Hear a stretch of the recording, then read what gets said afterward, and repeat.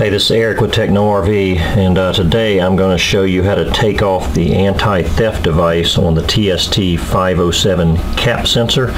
So this is how a sensor comes, and then to put this on a, a tire, you just use this tool, and uh, it goes around that, and then you just put it on the valve stem, take the tool off, and then if somebody tries to take this off of the valve stem, it'll just spin, okay?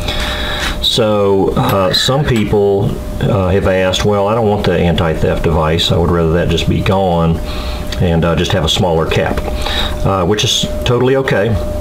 And uh, so uh, in order to do that, we've got three screws here, and we're just going to take those three screws out. And basically, um, what we're looking at here is um, this is just an outer cap shell that is the anti-theft device.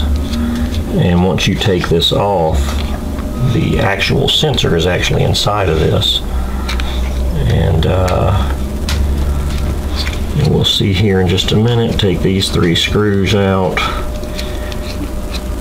And I don't think I took, yeah, I didn't think I got that one all the way.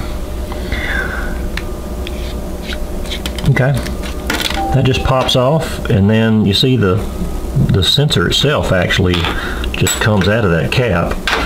And uh, and again it makes it a little smaller you know you go from you know that uh, to that. So it makes it a little smaller and plus you can put it on your valve stem now with with just your finger so you you, do, you would not need this tool anymore to do that. And then uh, it just works like the the sensor would normally work.